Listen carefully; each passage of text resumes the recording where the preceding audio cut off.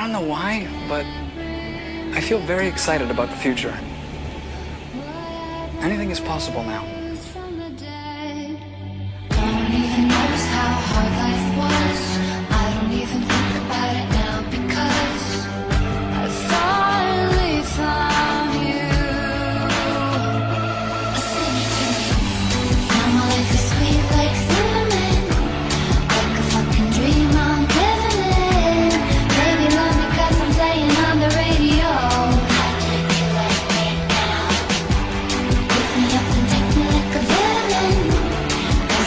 sweet pleasure, the woman